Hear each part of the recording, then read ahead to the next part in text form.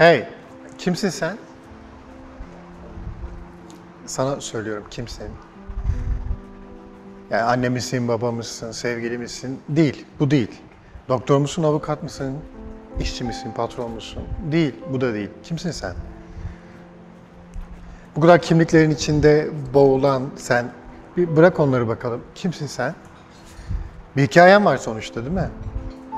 Hayata bir şekilde iyi ya da kötü, zor ya da kolay, mutlu ya da üzgün, öfkeli ya da sakin bakan kimsin sen? Nasıl değerlendiriyorsun olayları? Bir sıkıntı yaşadığında ona nasıl baş ediyorsun? Krizleri nasıl yönetiyorsun? Kendi hayatın, hayallerin, hedeflerin ve dünyadaki yerinle ilgili nasıl bir liderlik yapıyorsun? Kimsin sen? Stratejilerin neler? Hayatta ilişki kurma şeklin nasıl? Kimsin sen? Başına bir şey geldiğinde onu nasıl karşılıyorsun? Yoksa sen çocukluğundan beri sana yüklenen imajların sahibi misin? Ben böyleyim, şunu yapmadan duramam. Böyle bir huyum var diyen misin? Kimsin sen? E, Onların her birini tek tek aşmak, tek tek ken- kendilerinin ne olduğunu bulmak, onlarla yüzleşmek. Bu yolculukta mısın? Yapabiliyor musun bunu?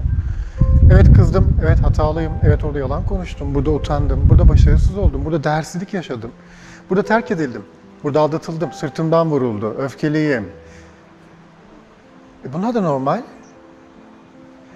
Sen bir yaşam formusun. Sen bu yaşam formunun içinde kendi formunu dizayn etmeye çalışan, iradesini kullanmaya çalışan bir insansın. Evet, zordur, bazen kolaydır, bazen olur, bazen olmaz ama bir forma sahipsin. Nasıl karşılıyorsun? Başına gelenleri nasıl karşılıyorsun? İyileri de, kötüleri de nasıl karşılıyorsun? Bir şeyi nasıl karşılarsan öyle yolcu, yolcularsın. İstemediğin bir şeyse itercesine, çok istediğin bir şeyse çekercesine. Bırakmak istemiyorsun çünkü. Her şey akar gider, her şey deneyimlenir ama nasıl karşılıyorsun? Bir bardak kırıldığında Allah kahretsin mi diyorsun? Olabilir, bardaktır, kırılabilir.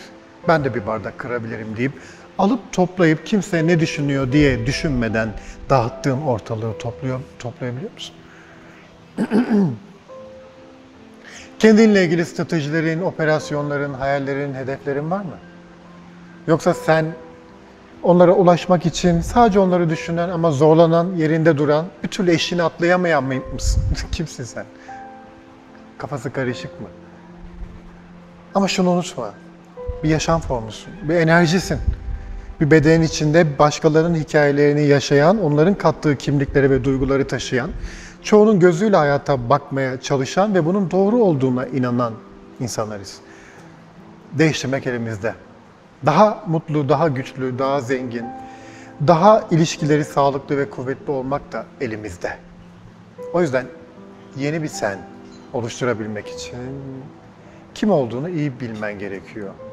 Eğer bu kimliklerinle huyların ve kişiliklerin kavga ederse, bir yanınla, bir tarzınla, bir huyunla, geçmişteki şeylerle kavga edersen, yani kendinle kavga edersen bulacaksın o kişinin kim olduğunu.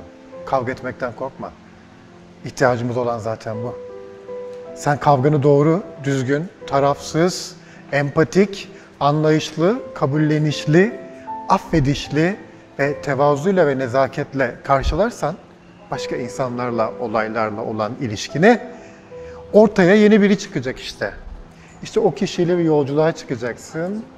O yolculukta iradenle yeni hikayeler yazacaksın. Ne istiyorsun diye düşün. Neleri başarmak istiyorsun? Hangi korkuların üstüne gitmek zorundasın? Sadece bir düşün.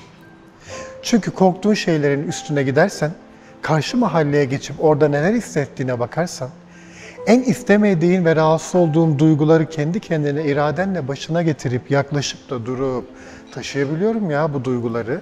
Ben bazen değersiz, bazen yalnız, bazen başarısız, bazen korkak, bazen özgüvensiz olmayı da taşıyabiliyorum demeye başladığın andan itibaren iyi olan olacaklar da, kötü olmuş olan olacaklar da taşınabilir hale geldiğinde işte ne istiyorum diye tekrar düşünmen gerekiyor.